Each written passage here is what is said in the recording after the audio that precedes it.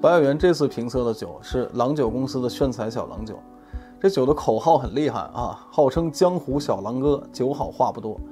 那酒好不好？我从头开始说。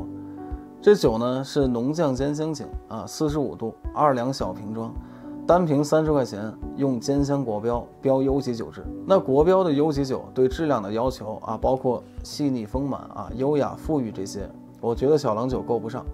但国标里没有的，这酒反而是做出了一些新东西啊。我先说优点，再说缺点。这酒闻香很舒适啊，很柔和。具体呢是菠萝的甜味儿，还有粮食发酵蒸熟的香味儿，是浓香风格。入口呢比较柔和，呃，口感是甘甜，后味儿有酱香啊，回味儿有纯甜感，饮后反应不错。我喝了二两没问题，而且整体喝起来比较舒服。那优点说完了，说缺点。浓酱煎香酒呢，入口应该是浓香风格啊，讲究的是浓郁的绵甜感，但这酒入口的甜不够浓郁啊，也不厚实，就好像糖水的甜，而且这个甜还有点发闷。这个闷呢，具体的感觉就好像喝冰镇可乐和常温可乐的区别，就不够爽烈，而且整体的香气散得快啊。再说后味儿，这酒后味儿是有酱香风格。但是酱香的焦糊味是有点明显的。喝完这酒之后，我去漱完口，嘴里还有苦涩味。那整体看呢，小郎酒号称是浓头酱尾，我喝起来感觉是甜头苦尾。这酒呢，浓酱两种味道都做出来了，但是浓香的绵甜浓郁和酱香的细腻醇厚没做出来。这酒太薄了啊，香气不丰满。我觉得这酒是有浓酱的味道。但是缺煎香的风格，但是呢，酒好不好喝啊，和好不好卖这俩不一样。小郎酒卖的挺好的啊，尤其是新酒友喜欢喝，是因为这酒不冲啊，度数也低，甜甜的，挺好喝。所以我体会出来的一些酒体缺点，可能是郎酒为了年轻酒友的喜欢，呃，特意设计出来的。那郎酒的煎香工艺确实也是改了不少啊。我再说说郎酒煎香是怎么做的。那过去的郎酒煎香啊，就是老的郎泉酒，那个酒的煎香工艺呢，是叫一步法，就是把浓酱这两种工艺都融在生产过程里。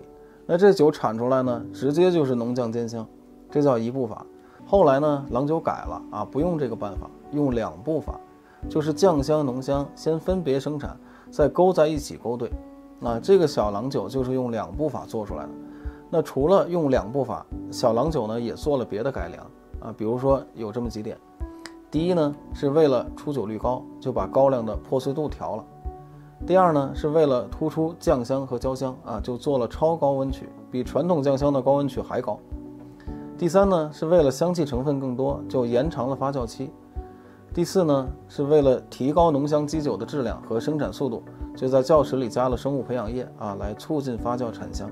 呃，这是小郎酒在色、香、味、格四个标准的评分，满分是四十，得分是二十六点五，加上五十的基础分啊，是七十六点五。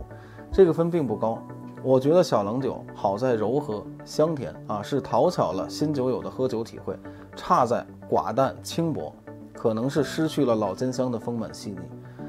再来说说这酒的性价比和作为送礼是不是拿得出手？这酒二两，单瓶三十啊，参考酒质，我觉得卖的挺贵的。在白酒市场呢，煎香的溢价是挺高的。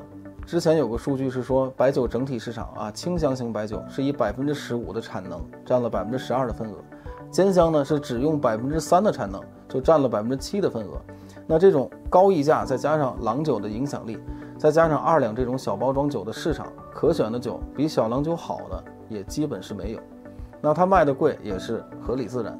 所以性价比我给了三分，那是不是拿得出手呢？我觉得在品牌和包装上都很好啊，是既大牌又时尚，尤其是适合三两个好朋友聚聚会，少喝酒啊，多聊天。所以送礼请客这一项我也给三分。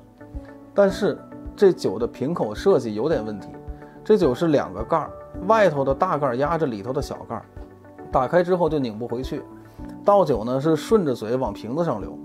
郎酒是说这酒的设计理念是直接对嘴喝啊，这叫直饮新风尚，可以减少使用酒杯，啊，进而减少刷杯子的用水量和人力消耗，这个我就不评价。最后呢是综合以上，加总评分是八十二点五分。那在白酒园的评测定级里属于第三档啊，优质。主要的得分项是大品牌和在酒工艺啊酒体设计上的创新和特色。那十分呢是在传统兼香的评价里缺少醇厚、丰满、细腻这些要求。好，懂白酒，上白酒园。